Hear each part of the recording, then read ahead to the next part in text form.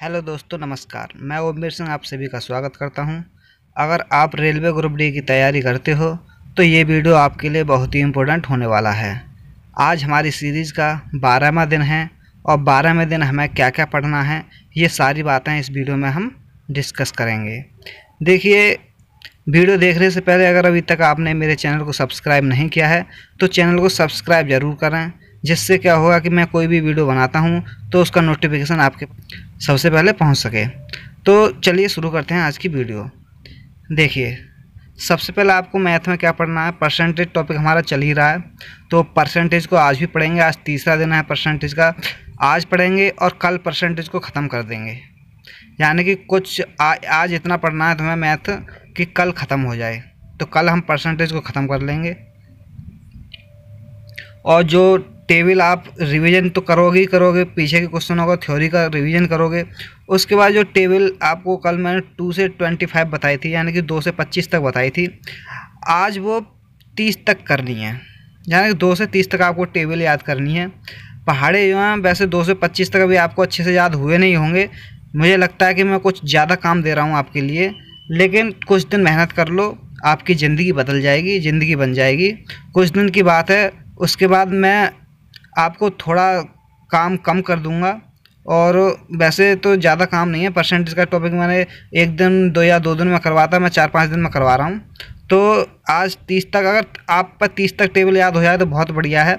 अगर तीस तक नहीं याद होती है तो तुम पच्चीस तक भी टेबल याद कर सकते हो। पच्चीस तक भी बहुत है। पच्चीस तक आज टेबल दोबारा याद करनी है लिख लिख के याद करनी है।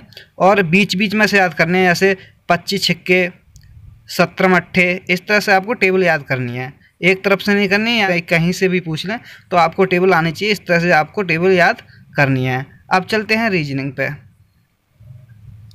देखिए, रीजनिंग में कंक्लूजन एंड डिसीज़न मेकिंग के क्वेश्चन आते हैं। बहुत ही इम्पोर्टेंट टॉपिक है।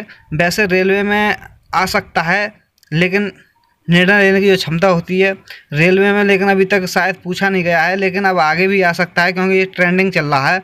सबसे ज़्यादा क्वेश्चन आते हैं हर एग्ज़ाम में इसके। तो आपको ये टॉपिक भी देखना है। इसमें होता क्या है कि इस तरह का एक डाटा दिया होता है, उसमें दिया रखा होता है कि जिस तरह से इसमें दे रखा है, इसमें दे रखा है कि न्यूनतम आयु एक सात दो हज़ार को अठारह वर्ष होनी चाहिए। ये शर्त दी होती हैं। शर्त दी हुई है और उसमें पूछता है कि शर्त अगर फॉलो नहीं कर रहा तो ये ए वाला जो शर्त अगर ये, अगर एक को ऑप्शन को शर्त नहीं करता तो ये वाले को होनी चाहिए। वो नहीं करता तो ये वाली शर्त होनी चाहिए। और उसके बाद में आपके कोई क्वेश्चन पूछे जाते हैं, जैसे फिर देखते हैं कि शर्त क्या क्या दे रखी हैं। छात्र को दाखिला देना चाहिए या नहीं देना चाहिए, या मामला कहाँ भी जाना चाहिए, इस तरह के होते हैं। जैसे कि ये समझो कि आप किसी जगह इंटरव्यू की जगह निकलेंगे और वहाँ मांगे ट्वेल्थ ट्वेल्थ मांगी है। अगर ट्वेल्थ ना हो तो आपके पास हाई स्कूल प्लस आईटीआई हो, तब भी ले सकते हैं। तो उसमें यही शर्त दी होती हैं कि आपके पास ट्वेल्थ है, तब भी सिलेक्शन हो जाएगा। आईटीआई है टेंथ के साथ, तब भी सिलेक्शन हो जाएगा। तो इस तरह से आपको डिसीज़न लेना होता है कि हमें सेलेक्ट करना, नहीं करना। इस तरह के क्वेश्चन रीजनिंग में होते हैं। नेक्स्ट चलते हैं जीएस में। देखिए जीएस में नाइन्थ की जो बुक चल रही है, उसका आज आपको चैप्टर नंबर टेन पढ़ना है। गुरुत्वाकर्षण पढ़ना है आपको ग्रेविटेशन आज आपको चैप्टर पढ़ना है ये, और अच्छे से पढ़ना है। इसके बाद में आ जाते हैं जीके जीके में आज आपको जो पढ़ना है, वो भारत का संविधान पढ़ना है, क्योंकि ये इतना है कि आज आप इसी को कर पाओगे। राज्य की कार्यपालिका, राज्यपाल, मुख्यमंत्री और मंत्री परिषद स्टेट एग्जीक्यूटिव जो होती है, इसमें आपको इतनी सारी चीज़ें पढ़नी पड़ती हैं।